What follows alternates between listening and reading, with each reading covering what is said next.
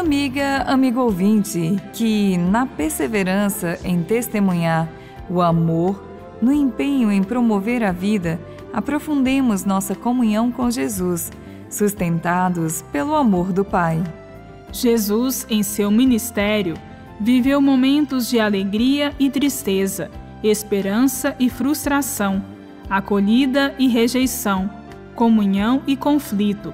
Assim também, pode ocorrer com os seus discípulos em missão.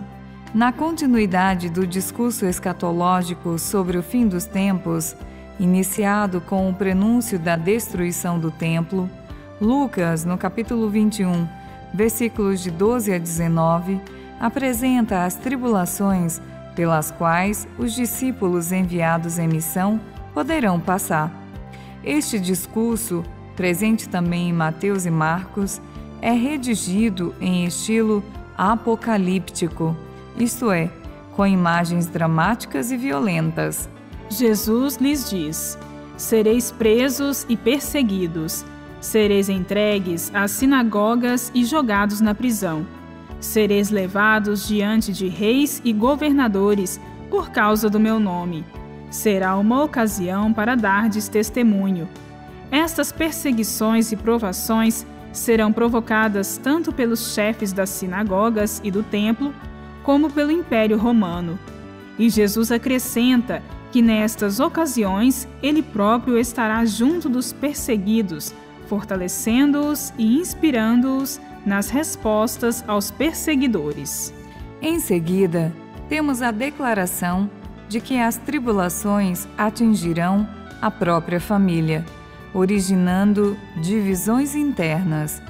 Estes conflitos, por um lado, têm origem na perda de valores e na desestruturação da família, causada por uma sociedade submissa à ambição do dinheiro e do poder. Assim, em tal tipo de sociedade, pode surgir a incompreensão de familiares quando um de seus membros faz a opção pelo seguimento de Jesus. Em nossos dias, são muitos os que dão e deram testemunho de Jesus, doando-se à causa da libertação dos oprimidos e ao resgate da vida sobre a terra. Assim fazendo, são perseguidos e executados.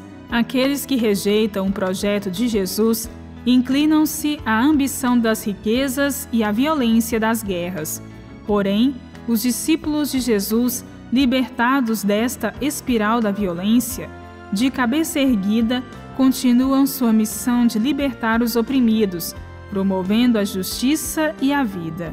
O seguimento de Jesus pode levar a diversas provações, porém, a alegria e a felicidade da comunhão com Deus tudo supera. Bíblia, Deus com a gente. Produção de Paulinas, Web Rádio. Texto de Irmã Solange Silva. Apresentação: Irmã Solange Silva e Irmã Bárbara Santana. Deus com a gente.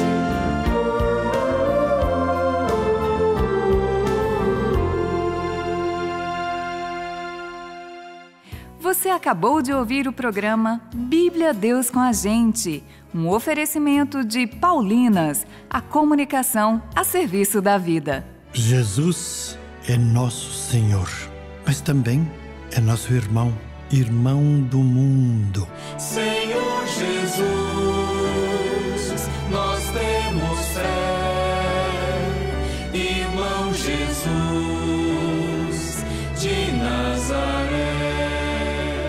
Irmão Jesus, o novo álbum de Padre Zezinho. Ouça nas plataformas digitais. Um lançamento Paulinas Comep.